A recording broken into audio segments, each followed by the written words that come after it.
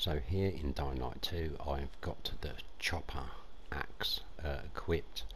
It is saying damage 22, durability 149 out of 150 so it's saying it's quite rare so let's check it out.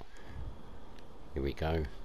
Let's go and find some zombies to try it out on. And I'm wearing the Brecken outfit, just so you're aware. Renegades. Oh, can't use it on him. Where are they? Where are they? Where are they all gone? They're all hiding, aren't they? Aha. Here we go. Here we go. What is it like?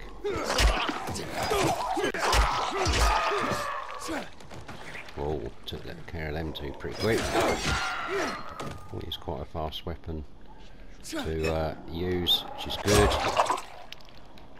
Quite like one-handed weapons for that reason. Is there any more around here? Oh, here we go.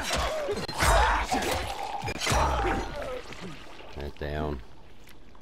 Oh, let's do some searching. Oh, who's that? Who is that? Oh, fighting our hands now.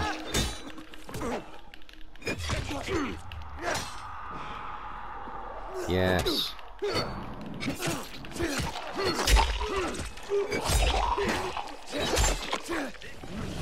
Oh, oh, I need to get out of here.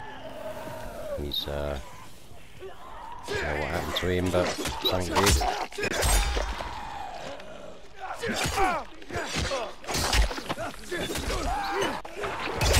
Oh, we got distracted.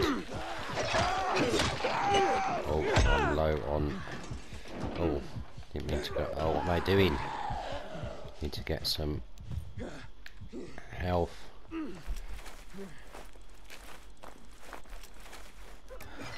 Right, there we go. Let's get back to the fight.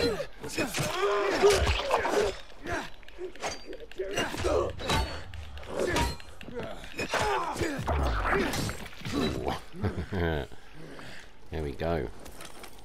If you was ever curious about that weapon, what it was like to use, and you've watched this video all the way through, you'll now know. There we go. So that was the chopper, or get to the chopper. uh, rare axe in Dying Light 2.